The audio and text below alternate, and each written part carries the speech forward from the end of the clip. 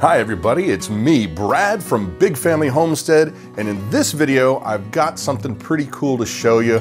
Uh, by accident, I kind of stumbled upon something that I think, I think, might be a very cheap, easy, affordable, EMP-proof, solar flare-proof, electromagnetic proofing device thingy. So here we go. Okay, now as we get started, I would like to first point out I am not a scientist, nor do I play one on TV.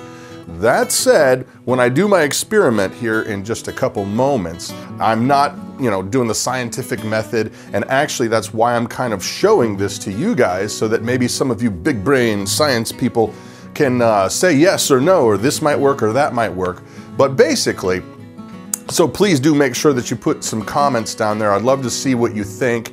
Uh, and well, you know, maybe this is gonna be great and easy and cheap, and maybe it's just cool for this little moment. But anyway, basically the other day, we were working on our long-term food storage stuff. You know, we're putting stuff in Mylar bags and, you know, the rice in the bags and the buckets and then in the yada yada yippee skippy. Well, then it just, it dawned on me. I was like, huh, I wonder what this Mylar bag would do if you put your cell phone in there and test it out. Like you guys have seen the tests where people will put it in a microwave and they'll try to call it. Uh, and the other day I was fiddling around, I had a, an anti-static bag like you get when you get a video card. And I put it in there and I was like, huh, it, it worked. It actually worked. It stopped the radio waves from coming in. So then I was like, oh, this has got to be interesting. Let's see what happens in a Mylar bag. So I'm going to go ahead and show you my little experiment. And then, uh, well, let's just, you know, stop the jabbering and get to the experiment. Okay, so here we go. Here's my home phone. Here's my cell phone. What we're gonna do is I'm gonna go ahead and dial my telephone number. And I'm gonna block the number in case there's any super freaks out there who wanna stalk me. No stalking allowed. So it should be dialing my cell phone right now. Let's see, come on, come on. Come on. There it goes. Okay, see? Home, right? Phase one complete. So now I'm gonna take out a Mylar bag. I'm gonna put this phone into the Mylar bag. I'm gonna fold it up, fold it up, and it is in that bag, right there. So we're gonna try this again.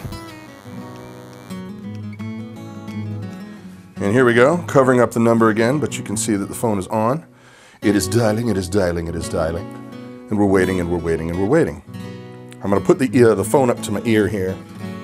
I don't know if you can hear that. Here, I'm gonna put it up to the mic. There we go. And we're waiting. As you can see, no cell phoneage. And it's gonna bump it to voicemail here in just a second because I tried it out before. Crazy. Your call has been forwarded to an automatic voice message. What do you think of that? So there you have it. I think it's pretty cool. Scientist people, let me know if this is only going to cover a small frequency band, because my understanding is that when there's a solar flare or an electromagnetic pulse, that it puts out a wide uh, wide range of frequencies. And if this is only, you know, the Mylar bag, if it's only going to be covering a very small frequency band, I guess it's something that you could use in addition to another protection. But you let me know if it's just covering a very small band, uh, maybe just the cellular band, or, or if it might be possible to use it on a, on a cooler scale. So anyway, please share the video. I'd love to hear some answers and hear your comments.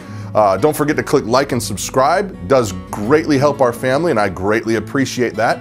I'm Brad with Big Family Homestead, and you have an amazing day.